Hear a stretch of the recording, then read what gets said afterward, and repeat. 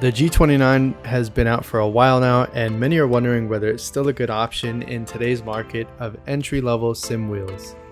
Today I'll be reviewing the Logitech G29 after 3 months of ownership and dozens of hours on Forza Horizon 5 and Assetto Corsa on the PC. For this review, I'll cover the price, the build quality, the pros and cons, and then lastly the value and the competition. So let's get started.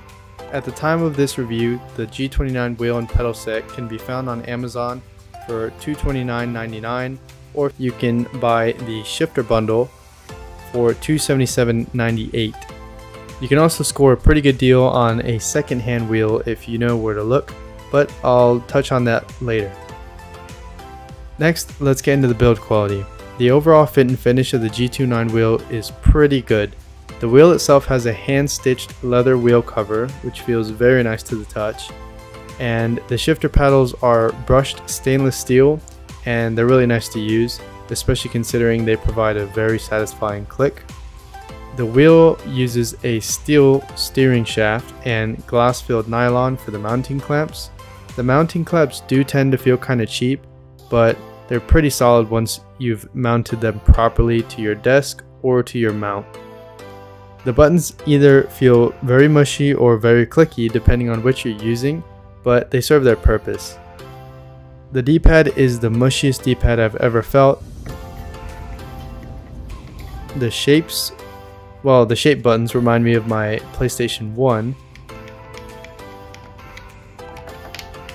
And the other buttons are super clicky. Although it might sound like I'm complaining about the buttons, I actually like them with the exception of the D-pad and I think they all serve their purpose very well, especially considering you only really use the buttons to navigate menus every once in a while when your controller or keyboard and mouse aren't the best option to do so. I play on PC and mostly use my keyboard and mouse to navigate the menus, but I do have to use the buttons for some in-game functions like joining lobbies, pausing the game, and some vehicle features. As for the pedals, they have brushed stainless steel faces and frames, and the arms are made out of cold rolled steel. They feel pretty solid if you can get the base not to move when you're using them. The base does have a carpet catcher on the bottom, so for those of you who have carpet that should help. Um, I have hardwood floor, so it does have rubber feet, but it does still move whenever I use it.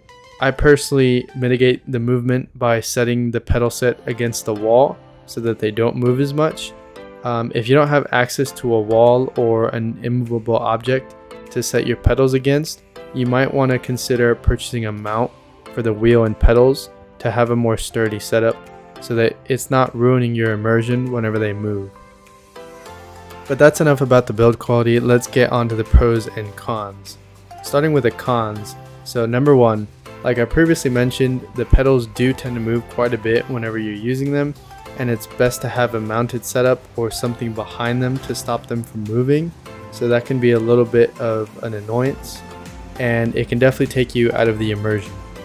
Number two, the brake pedal is way too stiff out of the box, and it's most likely the cause for your pedals to move whenever you go to brake pretty hard, the whole set will just fly across the floor there are ways to modify the brake pedal or your in-game settings so that you don't have to basically put so much force in the brake pedal that your whole set will move, but it would have been nice not to have such a stiff pedal out of the box. Number three, the wheel can feel kind of small, and this might take some immersion of the experience until you get used to it. It is worth mentioning that there are some aftermarket options out there, but that's extra money that you have to spend if you want a bigger wheel. Number 4, the pedals are a bit too close for my liking and the pedal set isn't sturdy enough for them not to move when you really start to get on them. Um, but this might just be, again, something that you have to get used to and kind of measure your force whenever you're using them. That's it for the cons, now let's get to the pros. Number 1, the build quality. So it's pretty impressive and it feels very rewarding to use even just looking at it on my setup, it just feels so solid and premium and well built. It's very nice. Kudos to Logitech for the build quality of the G29. Number 2. The fact that this wheel is pretty much plug and play with both PlayStation and PC is a major win. Now I said PlayStation because the G29 is compatible with PlayStation and PC, but the equivalent, which would be the G920, is compatible with the Xbox and the PC. So either way, um, whatever you play on, it's pretty much plug and play. That's a big pro in my opinion. It's super nice to not have to do a whole bunch of driver updates or setups. But on PC, I will mention that you would benefit from using the Logitech desktop app. The third pro would be how customizable this is. So I previously said the wheel feels a bit small, but you can customize the wheel. In other words, you can replace the wheel. There are options so that you can get a bigger wheel and still use the buttons and shifter paddles. So that's pretty nice. Uh, you can also customize the brake pedals if you really wanted to. You could change the springs or the material in the pedals themselves. But um, yeah, that's a pretty cool option there and definitely an affordable option if you don't want to jump a whole nother price bracket in terms of your sim setup. So number four would have to be the relative smoothness of the wheel once you have it dialed in. I have to be honest, I was expecting this wheel to feel way notchier because of my prior experience with another Thrustmaster wheel. Um, I had, I think it was a TMX or something way older back in the day, and it felt super notchy, and that's actually why I didn't want to buy this one. But um, based on my use so far, it actually feels surprisingly smooth, and it really just doesn't feel notchy. I'll include a little clip of the test that it does to calibrate and then you can kind of maybe get a feel for how it might be in your hands.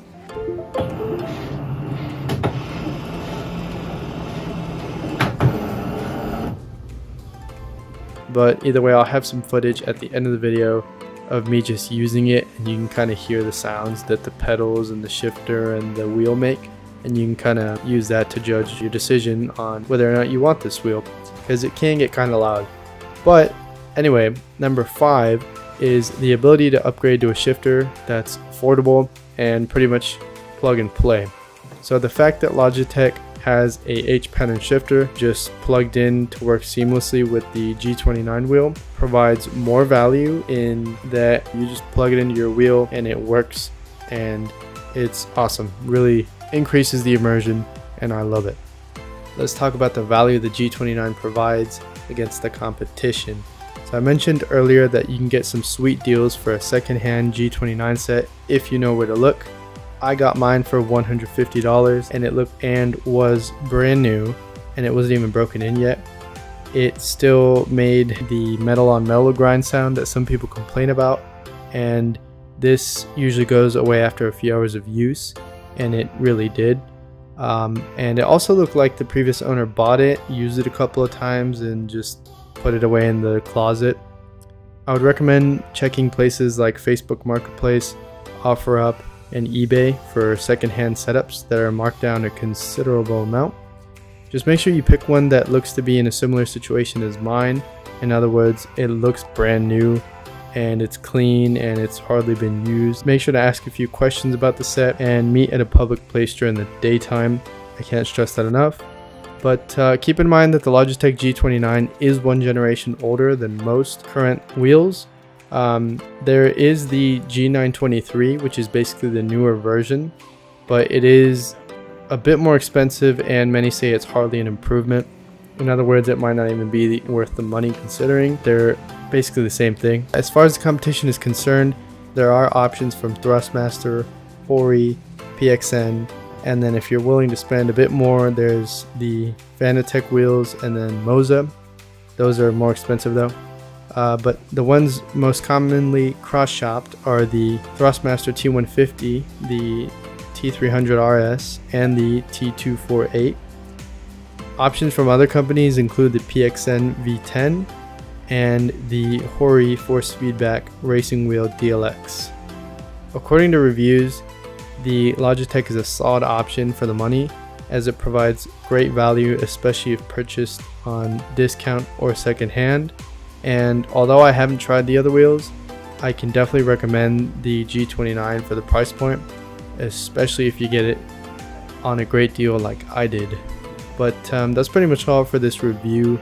I just wanted to kind of make a three month ownership review, especially considering I bought mine used. But like I said, it was probably hardly used. So anyway, um, that about wraps it up. Leave a like if you enjoyed, comment any questions that you have and I'll answer them. And thanks for watching. Bye.